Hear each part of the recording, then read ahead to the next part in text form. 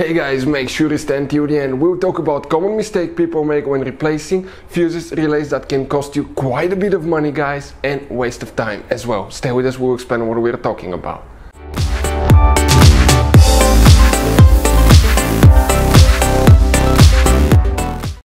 Hey guys, welcome back to Auto Repair guys. Thank you guys for watching and subscribing to the channel. Today will be super helpful video to any of you having a BMW guys, 5 Series generation E60, E61. This is the 5 Series BMW from year 2003 to year 2010. If you guys have one of those and if you need to uh, find where the fuse for the idle actuator is located guys, which fuse you need to check, it's hidden, where you can find it, where you can buy cheap fuses, parts, tools at a good price, quick shipping, that way you do not waste your money, and why it's important to test fuses and relays, all that guys will be covered absolutely free for your convenience, make sure to stay until the end. So before we start, let me tell you a little bit about us guys.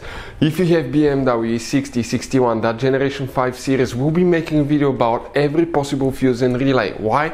To save you time and money. Let's say you're in the middle of nowhere, your fuel pump fuse blows out. What do you need to do? Okay, it takes forever to find where it's located. It's so complicated, you may have even multiple fuses.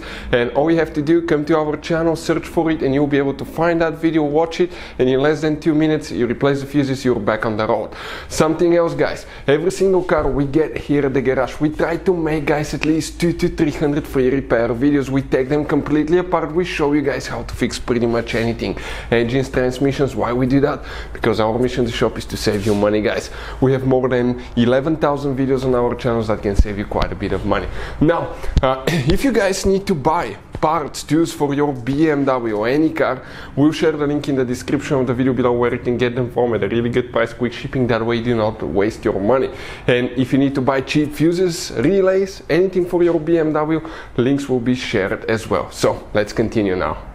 So the idle actuator fuse where it's located will demonstrate on the 2008 BMW guys 5 series that we have right here. But even if you have one before the facelift or the facelifted version, you will need to check that fuse. You have three different fuse boxes in this car. Today we'll be working on one of them and that fuse box is under the hood. Pop the hood open. Once you do that, you will guys come on the passenger side. This is your windshield, that's the wiper, that's the shock tower. This is the strut shock for the hood. And right here you have one trim cover, remove it. Underneath you will get to a fuse box. Once you open that fuse box, it will look like a big mess of wires, relays, modules, and fuses. Before we continue, let's explain why it's important to test fuses and relays. So it is super important guys to always test fuses and relays and something else as well, common mistakes people make. Sometimes you may think that a fuse is good or uh, uh, you cannot actually see if the fuse is clearly burned and in that case guys you may need, uh, you may put the fuse back together uh, and you may end up spending money and time on parts you don't need and uh, all we had to do is just test the fuse. So we'll put a link in the description of the video below how to test the fuse. It takes only a few seconds to find out for sure if it's good or bad. The same thing for relays, guys. Okay, uh, some of those could be really expensive on cars, so we'll put a link in the description of the video below how you can test relays. And for some certain fuses, guys, it's important to disconnect the car battery when removing them, otherwise you can burn the electronics. And uh, for instance, working on airbags, fuses, or anything like that, you need to wait at least one hour after disconnecting the car battery. And if you're not qualified and certified to work on airbag system, I will never recommend to do that, guys. Uh, but when disconnecting the car battery, guys, okay, common mistake people make. It's important to know which battery terminal you disconnect, reconnect first. If you do it the wrong way, you can burn electronics modules. How we know about that? We burn uh, before the uh, traction control module on BMW that cost us $2,000, guys. So uh, we'll put a link in the description of the video below which battery terminal to disconnect first. Check it out for your convenience. So the idle guys, okay, the idle actuator fuse, where it's located.